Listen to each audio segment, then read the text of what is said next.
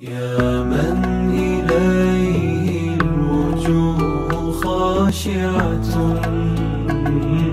ومن عليه في الكون معتمدي مددت كفي إليك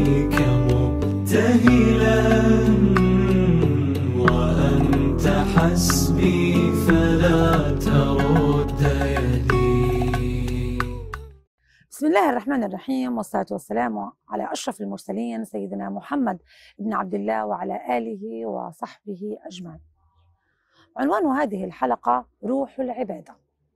الجميع منا يعبد الله سبحانه وتعالى ويتقن العبادة أحيانا بل ويتفنن فيها كثيرا ولكنه دائما يردد بأنه لا يجد متعة لهذا الشيء فهو يعبد الله سبحانه وتعالى فقط من باب أنها فرض ومن باب عدم المساءلة يوم القيامة على قلة أدائها. روح العبادة هي المحرك التي تعطي العبادة اللذة والاستمتاع. كيف نستمتع في هذه العبادة؟ كيف نشعر أن العبادة رغبة وليست مجرد فرض آه، ينقذني من نار جهنم ويدخلني إلى الجنة؟ نحن نعبد الله سبحانه وتعالى آه، ونحاول دائما أن نبتعد عن الكسل والفتور والملل وللأسف هذه من أكثر الشكاوى التي آه، تتردد كثيرا آه، على بعض الدعاة حينما يسأل آه، السائل أو تسأل السائلة لماذا أقرأ القرآن وأنا آه، أشعر بالملل وأصلي وأنا أشعر بالفتور وأمارس بعض العبادات الدينية وأنا آه، كذلك لا يوجد لدي أي رغبة يعني أو طاقة أو نشاط. اليوم بإذن الله سنتكلم عن موضوع روح العبادة. أقصد بروح العبادة المحرك الذي يدفعني لأداء العبادة برغبة ونشاط مع آه، تأثير العبادة على أثري وسلوكي. كيف هذا الكلام؟ وما الدليل على أن روح العبادة أصبحت لدينا ميتة؟ فالإنسان عبارة عن جسد وعن روح وحينما آه، تخرج الروح من جسد الإنسان يصبح آه، يطلق عليه لقب ميت إنه ميت لأنه بلا روح. كذلك العبادة. حينما تسحب منها الروح تصبح ميتة. يعني لا أثر لها على السلوك ولا أثر لها على النفس ولا أثر لها على الجوارح.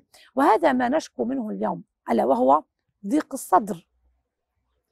ظلمة وحشة اكتئاب ملل كل هذه الأمور إن دلت على شيء تدل على أننا نعاني معاناة كبيرة في موضوع روح العبادة.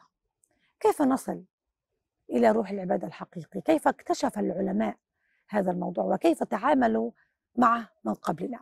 بصراحة هناك علامات تظهر تدل على أن روح العبادة قد ماتت لدى البعض منا أو لدى الأغلب. أول علامة من هذه العلامات هي غياب الأخلاق. نرى عباد نرى ناس قد تحلوا يعني بعبادات كثيرة لكن لا نرى أخلاق لا نرى سلوكيات. فنحن لا نريد فقط أن نرى الصف الأول مثل نراه بالصف الأول وهو ملتحي ويحفظ القرآن وهي كذلك ولكن لا يوجد عليها أي أثر لا سمح الله من هذه الآثار. إذا هذا أول مؤشر لدينا ألا وهو مؤشر غياب الأخلاق.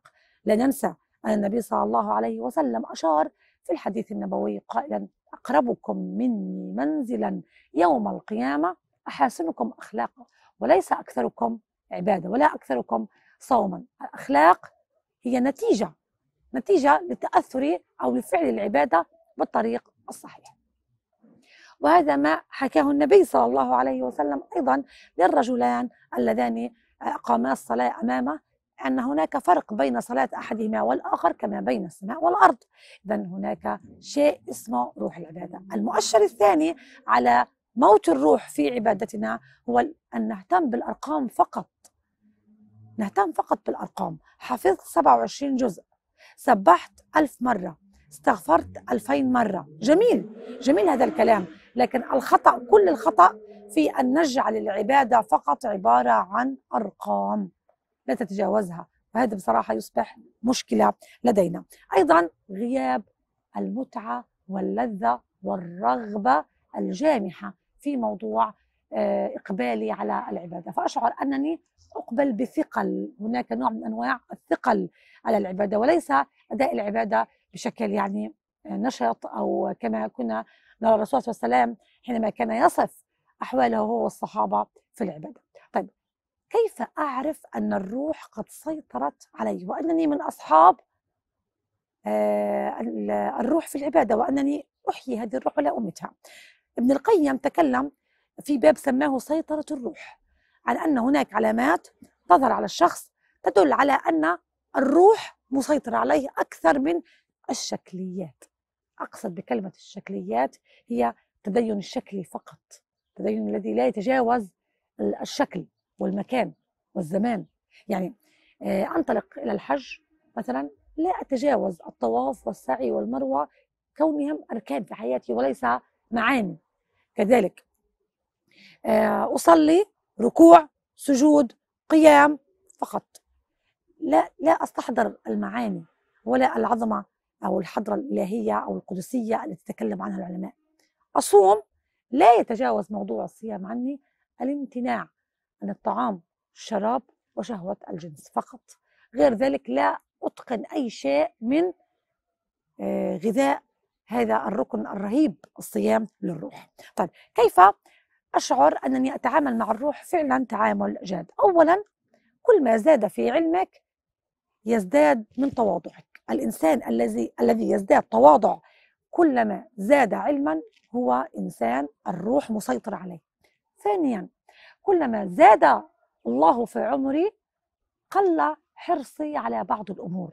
يعني أحيانا نشعر أن الناس تتكالب على الحياة وتحرص على الاكتناز وتحرص على الامتلاك.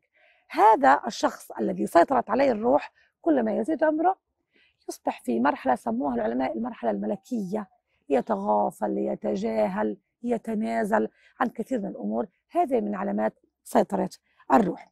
أيضا كلما زاد آه، في عمله العمل كلما زاد في خوفه وحرصه أي أنه يخاف ويحرص دائما هل يتقبل الله مني هذا العمل أم لا. هذه علامات سيطرة الروح حينما تشكو الروح ماذا تقول؟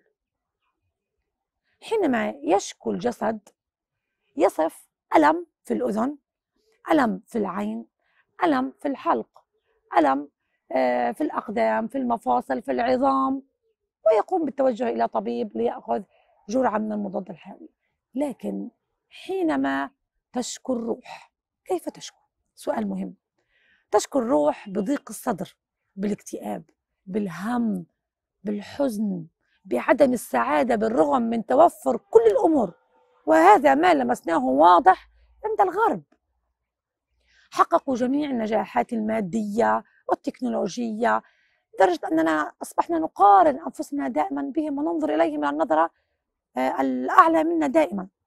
لكن الحقيقة أن لديهم مرض تفشي مستفحل ألا وهو الخواء الروحي. لذلك يكثر عندهم الانتحار يكثر عندهم أيضا الاكتئاب والتوجه إلى العلاج لهذه الأمراض التي تصيب النفس والروح والقلب. هذا الكلام غير موجود بإذن الله عند المسلم أو المؤمن إن تعامل مع العبادات كغذاء روحي. فأذكار الصباح والمساء غذاء روحي الصلاة والسجود غذاء روحي. يعني حينما تصف السيدة عائشة النبي وتقول كنت أنظر إليه وهو ساجد.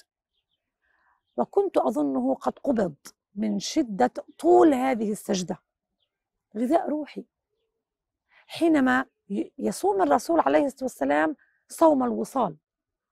كما تكلم عنه الصحابة. ويسأله الصحابة أنه كان يصوم بشكل متوالي. نريد أن نصوم مثلك.